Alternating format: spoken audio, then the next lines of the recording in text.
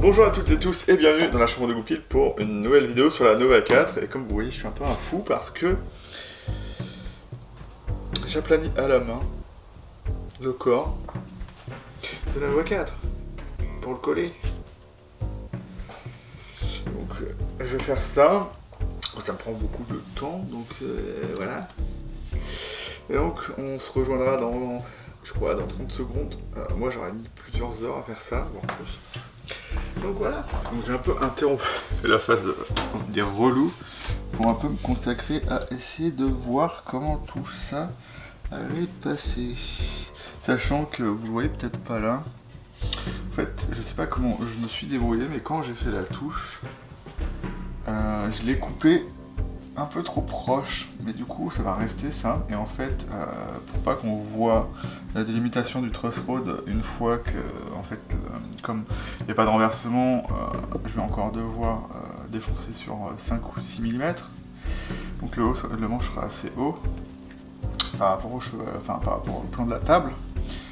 Et du coup, ce qu'il faut que je fasse là, c'est déterminer où je place le pick guard et après voir exactement parce que je vais les découper là, les deux pièces, alors que, que je voulais pas le faire parce que ce sera plus facile après de poncer sur une surface plus fine, enfin plus petite.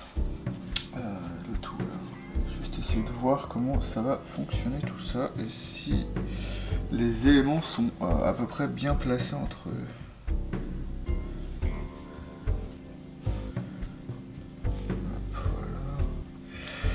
Après là, je vais devoir un peu décaler le haut mon gabarit de corps du coup, mais là ça me paraît plutôt correct pour mettre euh, du moins ce qu'il faudra pour... Puisqu'en fait après il faudra avec précision que je sache où tous les éléments se placent, parce que sinon j'aurai des problèmes quoi. Même si mes gabarits en fait j'en ai un pour, euh, ça, du coup, pour faire euh, la plaque, après j'en ai un pour la qualité d'électronique, euh, qui sera juste en dessous là du coup, et j'en ai un pour la cavité de micro, donc en fait je peux euh, un peu bouger ça un peu comme je veux, mais je préfère mieux avoir tout pratiquement euh, bien mis dès le début. Après ce qui me ralentit, ce qui m'embête du coup un peu, c'est que faut que je défonce du coup sur le manche là.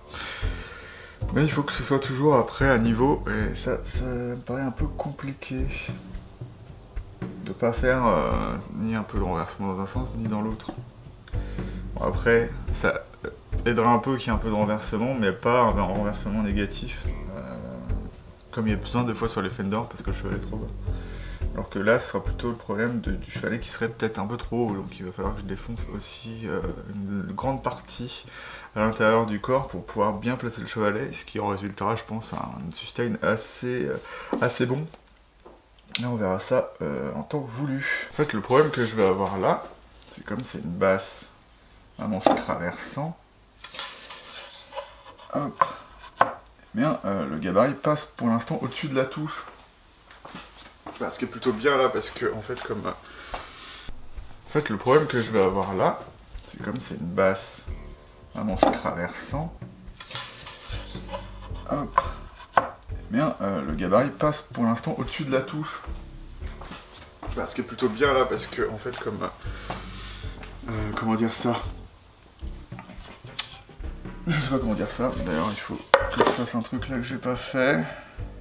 Comment? Ça me gêne en fait pour pouvoir tracer le corps. Euh, comme il va être poncé, en fait, il faut que je fasse euh, légèrement plus large. Ce que je vais faire. Donc, euh, le chevalet sera légèrement décalé. Le problème, c'est que ça se verra. Mais quoi? Ça se verra peut-être un peu. Voilà. Puisqu'il a un angle donc il faut pas que je passe euh, au-dessus de ça. Donc on est à peu près à la première frette. Donc je vais me caler sur la première frette. Et donc là ce qu'il va falloir que je fasse c'est de réussir à aligner les deux parties de corps en fait. Donc c'est pour ça que j'ai repris ce euh, gabarit là. Donc on est normalement centré. Ce qui va être un peu chiant là que j'ai pas le centre au niveau de la frette. Génial Alors c'est approximatif. Hein. Il je pense enlever ça d'ailleurs. Du coup, hop, j'ai un marque ici, voilà.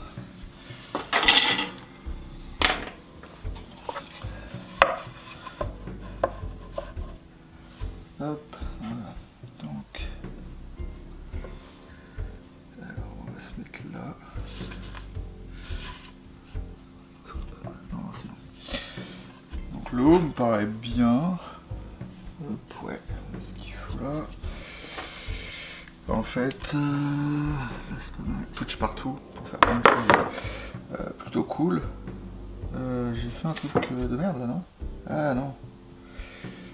c'est marrant. Donc il faut prendre celle-ci là. Ok, c'est pas mal ça. Et puis voilà. Donc on a notre corps qui a été redessiné. Et ce que je vais faire après, c'est légèrement couper plus large. Non, c'est grand. Comme ça j'ai de la marge si je regarde. En fait, si je regarde ça, c'est pour savoir si quand je place ça, maintenant que je vais montrer centré, c'est pas mal. Si je place ça là, euh, si, si le corps légèrement plus petit en, en épaisseur, puisqu'il faut reponcer.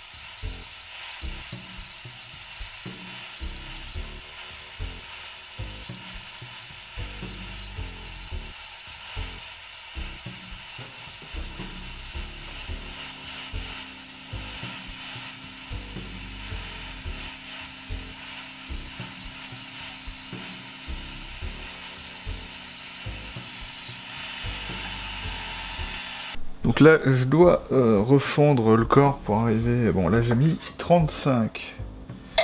on doit arriver à 33. Et donc, en fait, si j'ai mis 35, c'est que si... Euh, là, si on veut bien couper...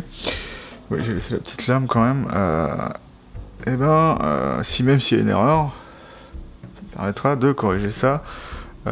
Vu que le corps est assez petit, enfin les deux parties sont assez petites, normalement je devrais pas avoir assez de déviation de la lame pour que ça entame 2 mm euh, comme je veux pas. Donc là, je vais quand même tester un bout. Et puis voilà, donc je vais mettre le casque.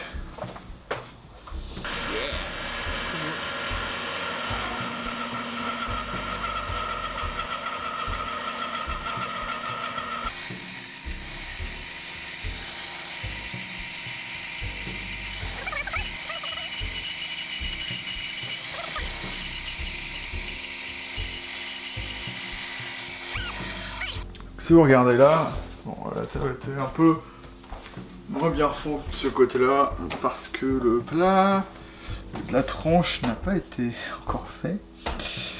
Donc c'est pas terrible, euh, mais du coup, ce qui va être euh, bien, c'est qu'on est pratiquement plat. Et donc ce que je vais faire, c'est du coup refendre ici. On va regarder combien ça fait là peut-être un peu beaucoup. Euh, donc on verra ça. Donc là, en fait, ce qu'il va falloir que je vois, c'est la mesure que j'avais fait pour le chevalet et voir Euh, si euh, une fois que je regarde sur ça, parce que faut voir en vrai, hein, une fois que je regarde sur ça, ça fait quand même enlever beaucoup de manches. Ce qui serait fidèle hein, à ce que fait Rickenbacker, mais moi je, je préfère mieux pas fragiliser le manche à cet endroit-là fragiliser, ça veut dire faire en sorte que le manche se tente plus à cet endroit-là, la jonction euh, entre bah, le corps, enfin, qui reste encore avec le manche, et le manche à proprement parler, puisque là, comme il y aura moins de fibres de bois, ça va quand même un peu plus compliqué. Je vais quand même tracer ce que ça donne.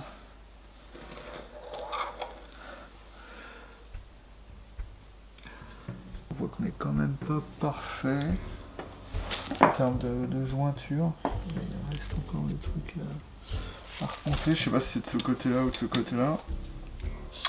Donc on verra ça. Évidemment ce côté-là n'est pas du tout poncé. Donc euh, mon chevalet euh, sera un Warwick, donc euh, vous pouvez peut-être le voir là, voilà. Donc ce que j'ai fait c'est simuler le bout de touche et le chevalet. Évidemment il n'y a pas ça de distance, hein, il y a beaucoup plus.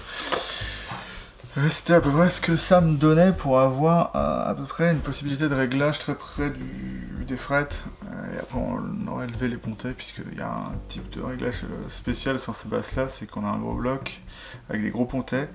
Et après, les, parties de pontets euh, au-dessus, on peut les lever et les changer de place à gauche ou à droite. Ce qui est plutôt pas mal, puisqu'on peut changer l'écartement des cordes du coup avec ça. Donc on peut faire plusieurs types de basses. Enfin type de manche de basse avec le même chevalet. Et donc on peut radusser comme on veut aussi. Et donc là on était à 1 cm. Donc on est quand même beaucoup. On est quand même beaucoup plus proche que ça, ouais. 1 cm. Et moi je vais tenter 0,9. Je me dis que le chevalet il peut plus bas. Voilà, et donc euh, je vais faire mes mesures de sécurité comme à chaque fois. Et puis voilà, donc en fait j'en enlèverai pratiquement rien.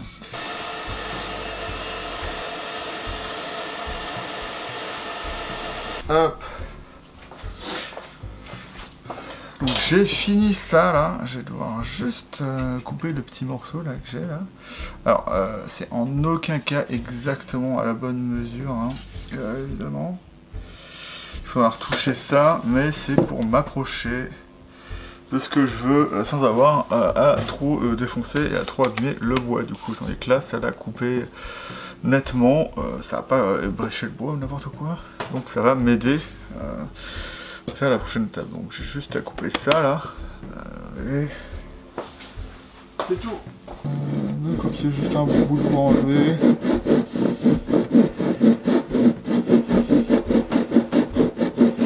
on vient à ça après avoir été souvent de la scie japonaise, ça fait un peu mal au, au derrière.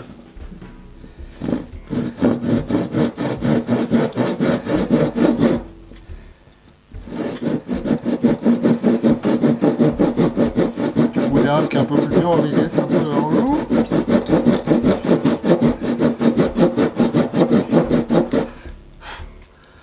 Et cette scie ne coupe pas bien du tout. sites des billes comme ça pour la lutherie.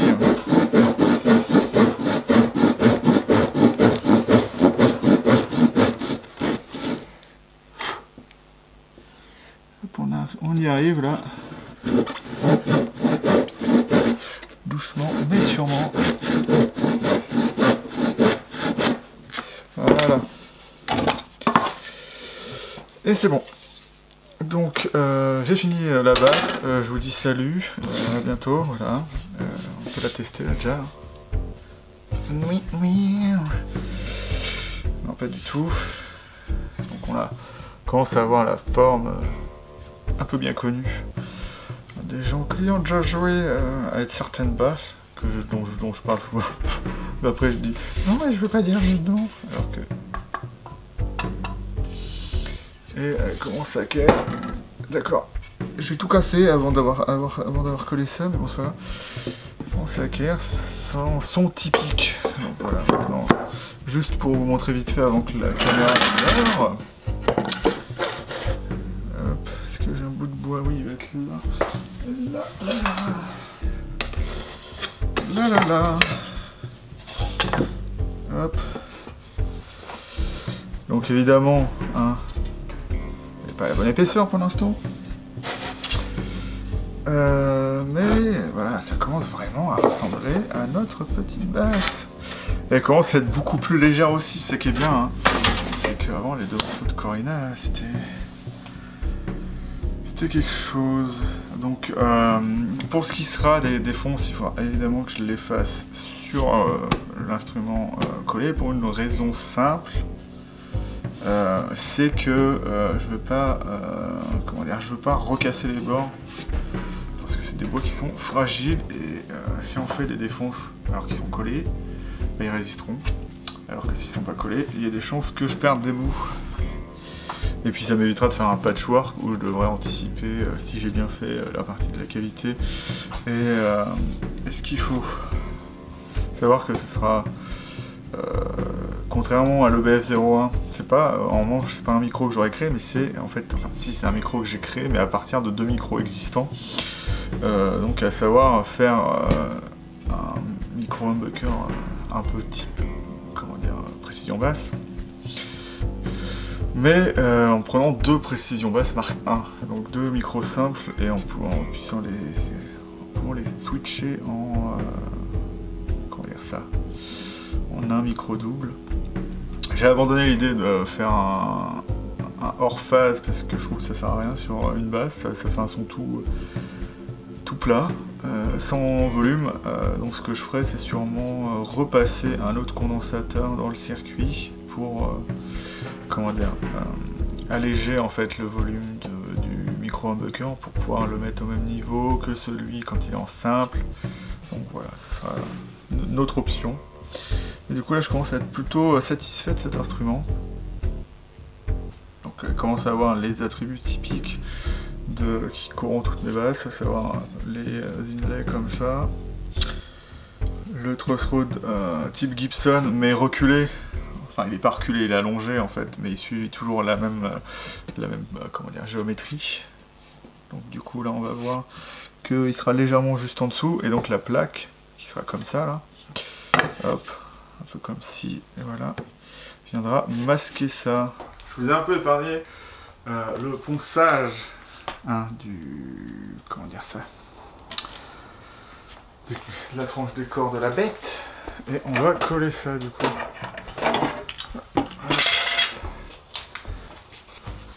De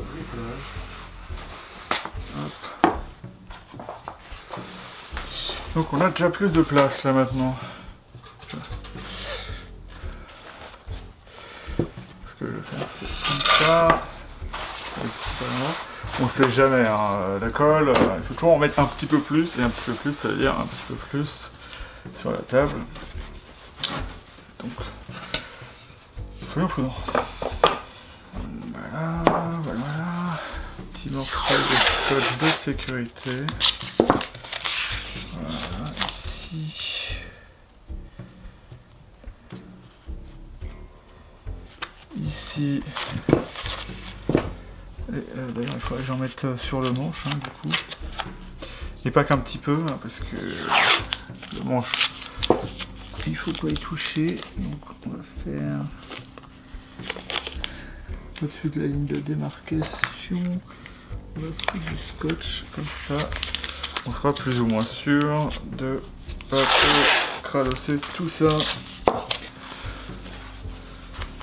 Hop, voilà.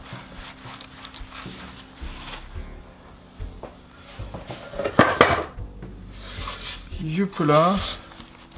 Donc on essaye de centrer ça au maximum, même si je ne vois absolument rien.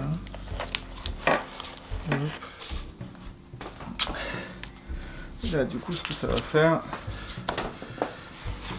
c'est que ça va aider à rigidifier le tout. Donc là, on a fait ça. on retourne. Et voilà. Donc on va pouvoir coller ça. Donc, tout ce qui va servir au joint là est à peu près d'aplomb comme il faut. Et donc on va placer euh, chaque partie vérifiant bien qu'on soit du bon côté. Hein. Donc là c'est le bas. Donc là c'est la limite qui va nous servir. Et en fait, euh, je pensais le centrer ici, mais je me souviens que j'arrive très bien à le faire en, juste en clampant euh, sur, les, gabarits avant de pousser. Et donc je vais me servir... Euh, donc après ça va devenir méga lourd, donc je sais pas quand je vais prendre. Ça et je vais les placer au bon endroit pour pouvoir prendre les plus gros serre-joints. Et puis voilà, qui sont au nombre de 3. Et après, je ne sais pas où je placerai ça parce que ça va prendre une place folle. Youp.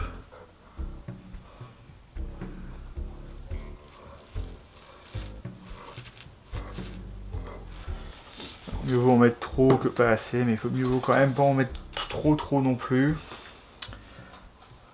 Parce que après c'est un peu chiant à utiliser. Donc surtout bien veiller à en avoir sur les bords. Parce qu'il se peut que des fois vous ayez un léger petit creux dû au fait que la colle n'a pas voulu se placer partout. On a l'impression que c'est pas collé. Euh, on a un peu peur, mais du coup si on fait ça là, comme ça là, hop, en mettant bien un petit peu plus sur les bords, ce n'est pas le cas, hein, mais que euh, la colle passe bien sur les bords, eh ben, on est un peu plus rassuré quand on colle, quand on voit euh, notre colle ressortir euh, bien comme il faut, là, et qu'on a à l'essuyer, et qu'après ça fait un, beau petit truc tout propre. Voilà. Bon, ce qu'il faut savoir avec cette colle, je sais pas si je le répète tout le temps, mais c'est toujours mieux de le répéter tout le temps. Hein, euh, tout le monde dit, oui, j'ai laissé sécher 24 heures. Il n'y a pas besoin pas du tout besoin de laisser euh, de la taille de bond de 24 heures. Hein. Hop, euh, là, voilà.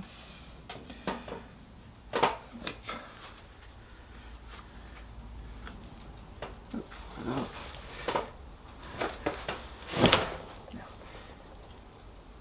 Hop.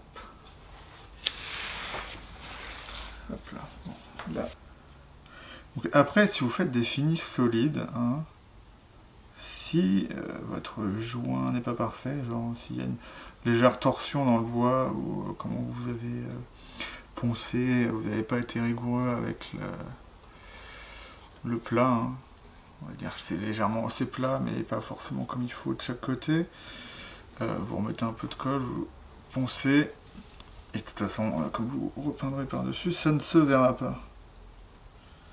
Et euh, ceux qui diront euh, que ça fait quelque chose niveau sonore, faut vraiment y aller hein, pour voir une différence. Hein. Sachant que sur un instrument électrique, le plus important c'est le manche. Hein.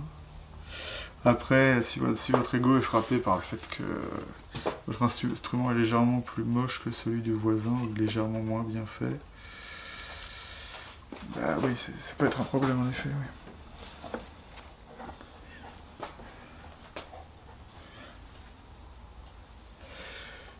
Là, hop.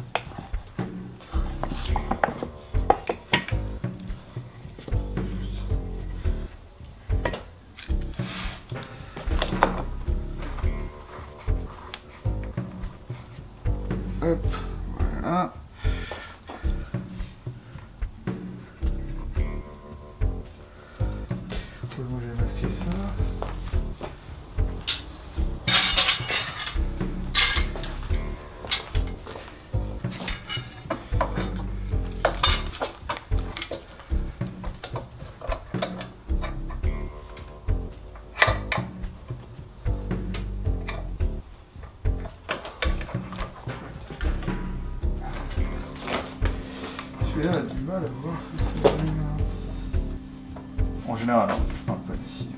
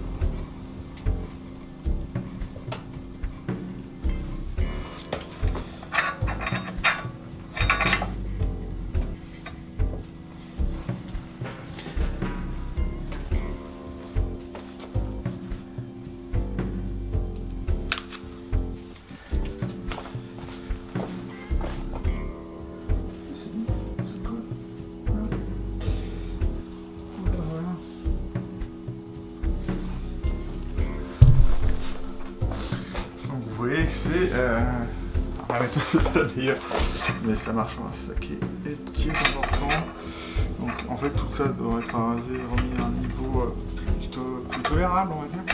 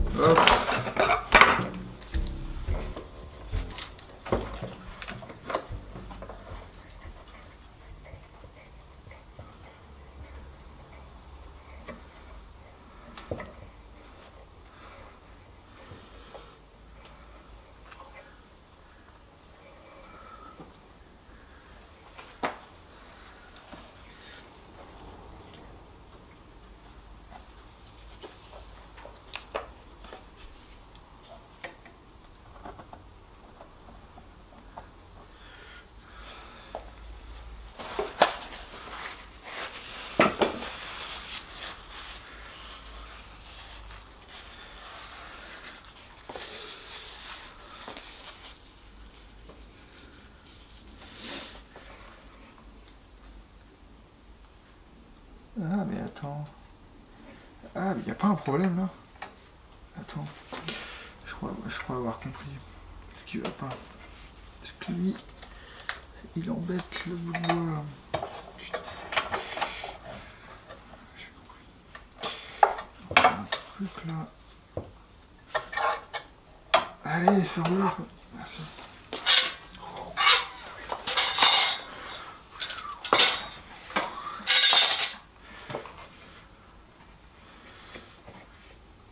Hop, voilà.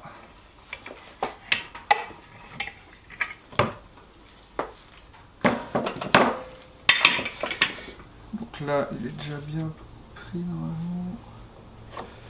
Sauf qu'il y a un truc qui me tiquer là, c'est que ça, ça a l'air de légèrement pousser sur les parties. Donc qu'est-ce que je peux faire avec ça? Euh, Si, je dois voir. Aïe.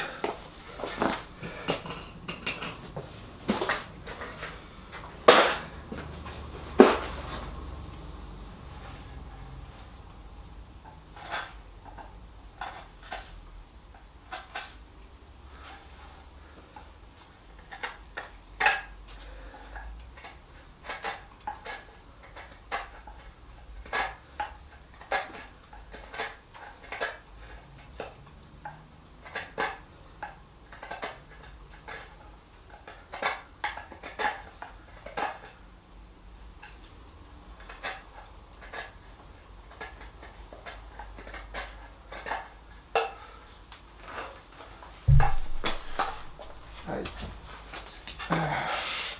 Alors, si légère soit-elle, si ça faisait pression.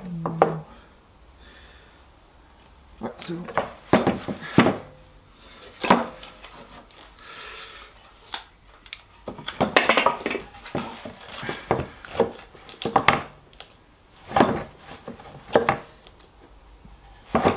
Euh, Qu'est-ce que je pouvais répondre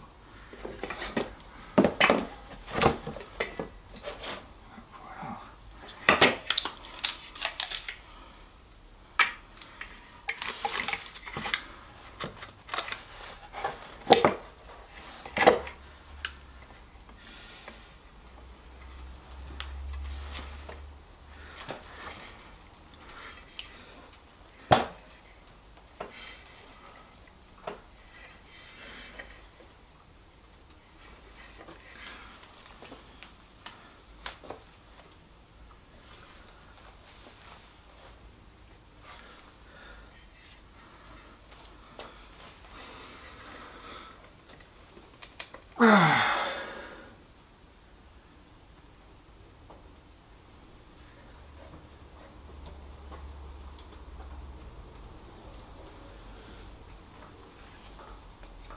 Ça bien repoussé tout. D'accord. Merci mes oreilles. Euh.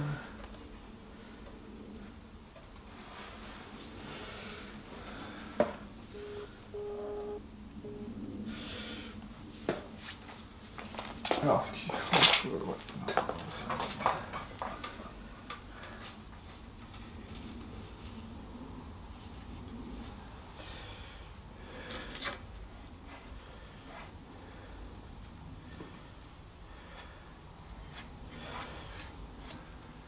Hop Est-ce que je les mets? Est-ce que je peux mettre celui-là? J'espère qu'il sera meilleur que l'autre.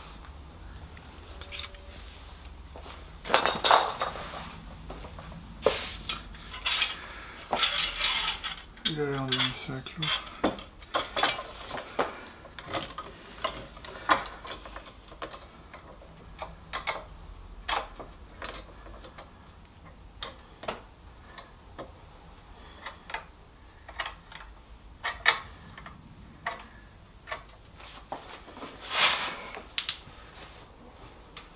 Ah oui, d'accord.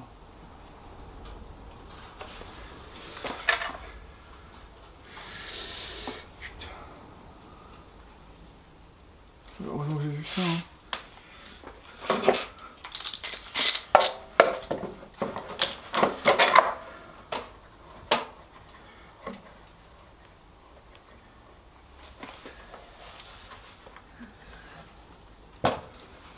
Hum. Hum, hum, Aïe.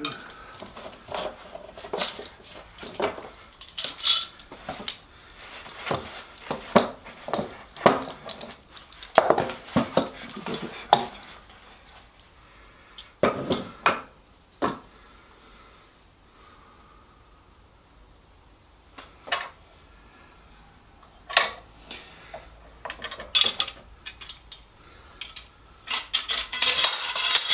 Non, mais c'est de la merde ce que j'ai fait du coup.